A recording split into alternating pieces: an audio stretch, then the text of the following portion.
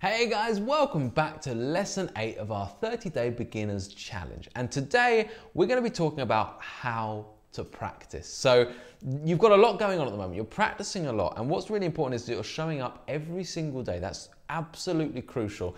And so today I don't want to give you anything new, but I do want to discuss how you practice, how to start developing a good practice routine, especially now that we've got so many different elements suddenly that we're working with. You need to be able to structure that in your practice time. So pick up that guitar or don't. you don't necessarily need it for this lesson, but still worth having and sitting there uh, with. Um, and let's get started.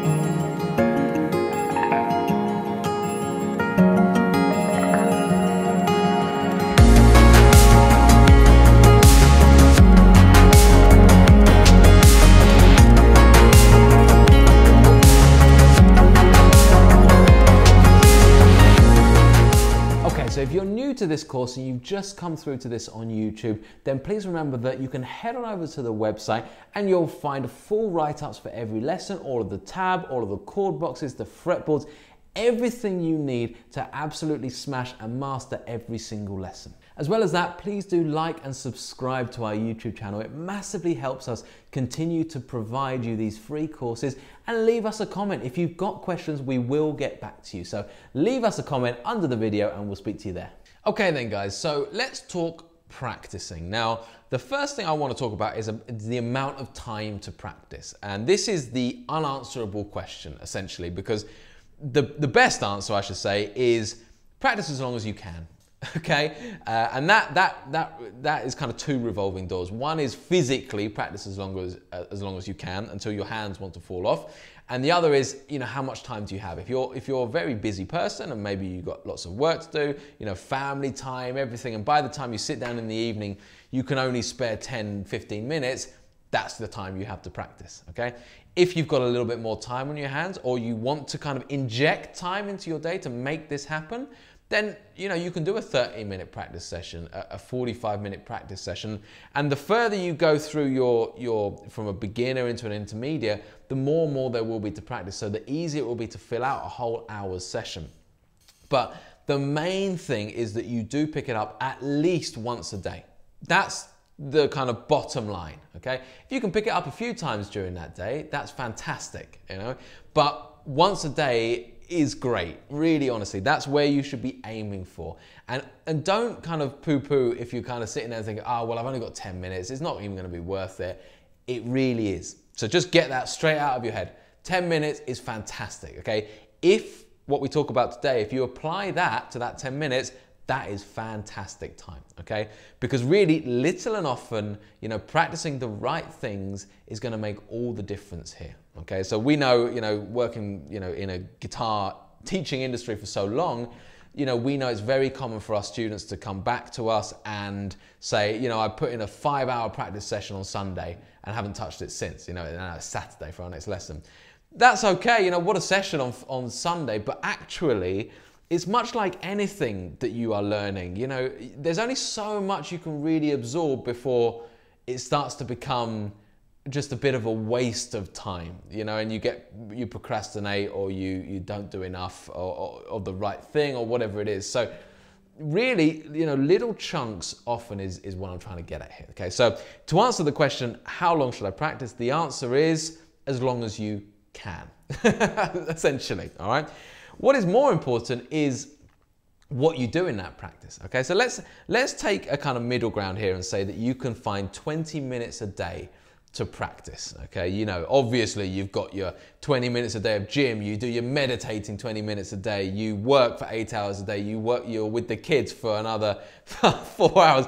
But let's try and find that 20 minutes, okay, that you could do. You, it's a lovely 20 minutes, isn't it? It's beautiful. You can take your mind off everything else, learn this wonderful instrument, okay? what we need to start doing is, is structuring that time a little bit, okay? And I'm gonna work with what we've got right now. So right now, what we've got are a couple of elements. We've got a little bit of theory.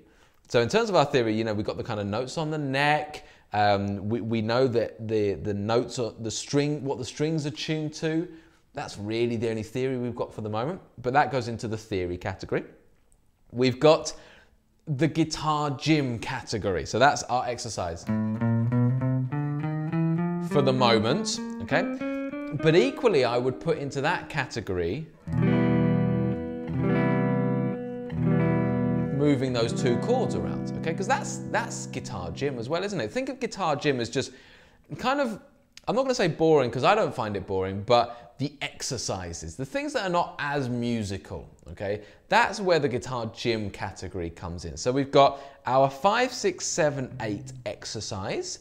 We've got the exercise of moving between the two chords, getting those chords physically sounding really good.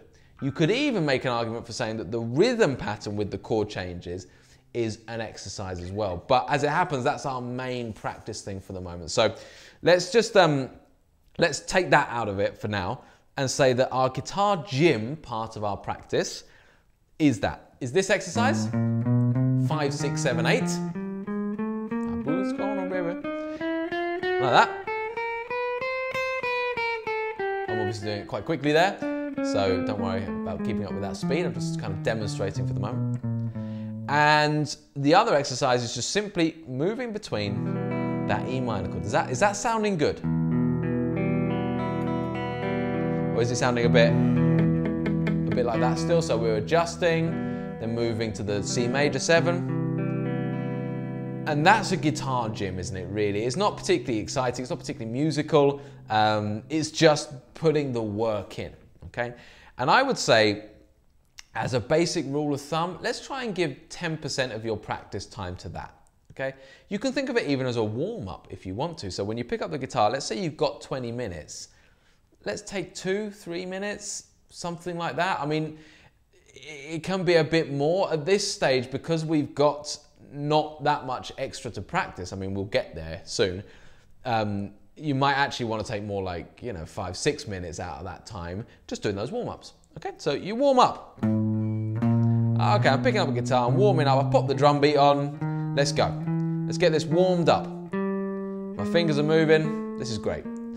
We're going through it. You know, it only takes a couple of minutes. Maybe you want to do the exercise a couple of times. Obviously, and you go through it, okay?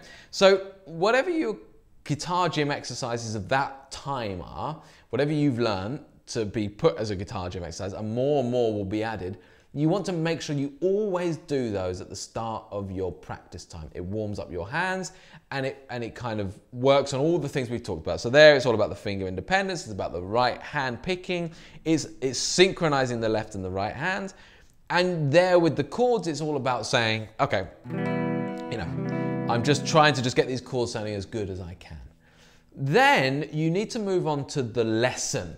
All right, and th this is the bulk of your practice. So in this instance now, with the course you're doing with me, it's literally the lesson we're doing. All right, so it's watching the video.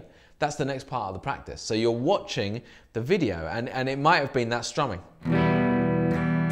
Okay, so the next part of your practice routine should be learning what I'm talking about in the video. All right, so that's going to then therefore be like 15, 20 minutes. So the rest of your practice time is that. So you're actually practicing with me in the video, all right? Then when you come back to pick up the guitar, if you come back again later and do another 10 minutes, 20 minutes or whatever, you're practicing what we did in that video. So what the topic is today, that's what you then practice. So the, the key thing here is remembering that everything I show you, everything you get shown, you need to put it into a couple of categories. We, we, have, we want to find that kind of guitar gym category whereby it's an exercise, it's a warm up, it develops your technique, it develops the, your kind of physicality on the guitar, but it's not that musical. That's what you start your practice routine with. Then you want to then have the kind of more musical element, the bulk of the lessons. So, you know, in, in a lot of the lessons we've been through, it's been all about strumming. Getting these chords together like that, right? So that is then something where you're like, okay, well, that's really my main musical thing that I'm working on here. So in the future, it might be a song. I'm working on a song. I'm going to work on that song now. Okay. Um, so that would be the bulk of your lesson. So as of today, right now, um, you would your you would start. You'd pick up the guitar, and I'd do exactly this. So I would come to the uh, drum beat, and I'd put my drum beat on. I've got 50 BPM, and I'd start like this. So. my warm up. Just assuming for total beginners, right? So I'm doing fourth notes.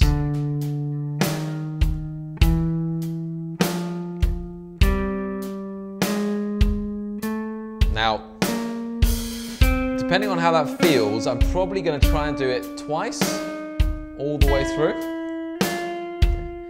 I'm testing myself with the beat. If I'm not ready for the beat yet, then do it without the beat.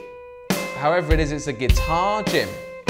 It's an exercise you're using to improve your technique and your physicality on the guitar, okay?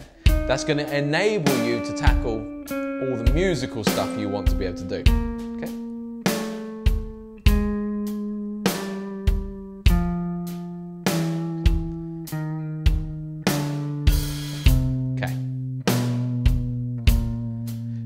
Might say to myself, okay, well, do you know what? I can handle that. I'm gonna up that BPM. I'm gonna go up to 60 BPM. Do another one.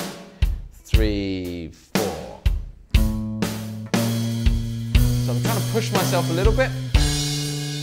Still in this kind of guitar gym format, okay?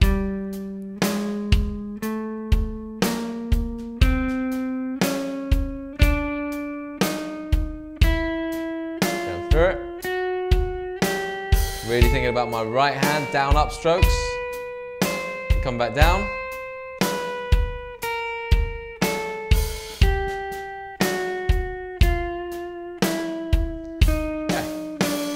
You get all the way to the bottom, and I'm starting to feel like my, my hand is warmed up. You know, I practice this exercise now, which is great, okay? You know, this is gonna be very physical, so it's gonna be the kind of thing where you wanna give it a little break after this. And I'm gonna stop there, okay? Then I'm gonna spend a minute just also just making sure that my chords are sounding good.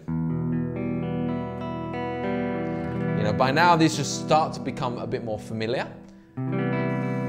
Just my two chords, it's like, okay, I'm picking through them, I'm getting clean sounds. If I'm not, just spend a bit of time just adjusting, adjusting, know, doing the physicality, doing the work. And then I'm thinking, right, okay, cool. I'm now ready to get, get onto that kind of musical thing. So this might be now, you know, once a day it'll be that popping on the video and listening to me. Fantastic. Um, but outside of listening to the actual video, it's like, okay, well, what are my main tasks now? So the task really that we're focusing on outside of the theory stuff is being able to go with my drum beat, two, three, four.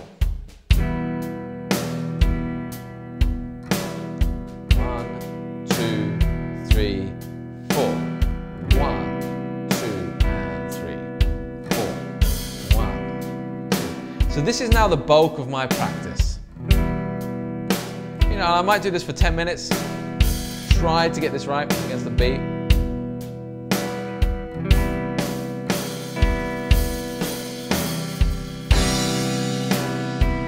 Okay, and then we'd stop there.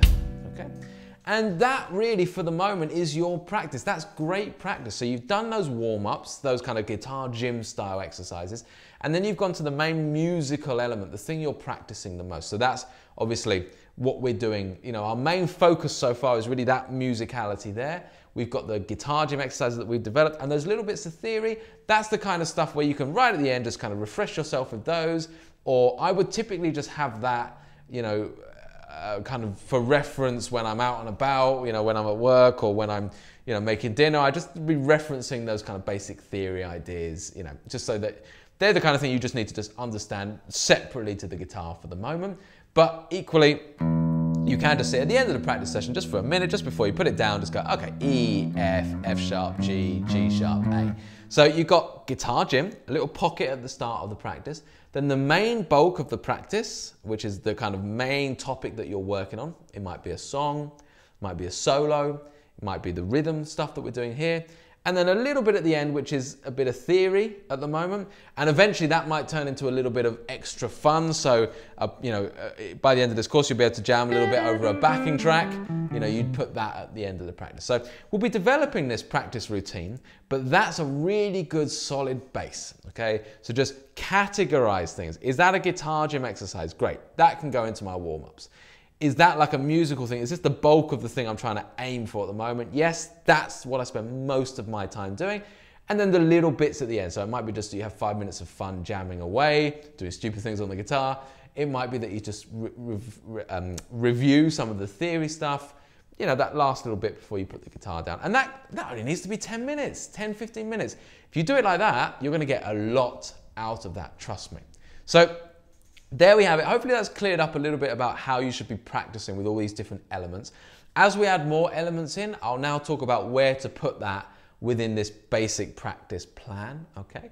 Um, so keep up the good work. Go away, practice like this, like I've just shown you, and I'll see you next time for another lesson. Okay guys, so thank you so much for watching this video. That's it for today. Please do head on over to the next lesson when you're ready, which you can find here, or you can start from the beginning of the playlist right here on YouTube over here. Also, if you want to leave us a comment, we do our best to answer any questions that you might have and pop us a like and subscribe to us on our YouTube channel. Every little helps. Thank you so much, guys. Speak to you later.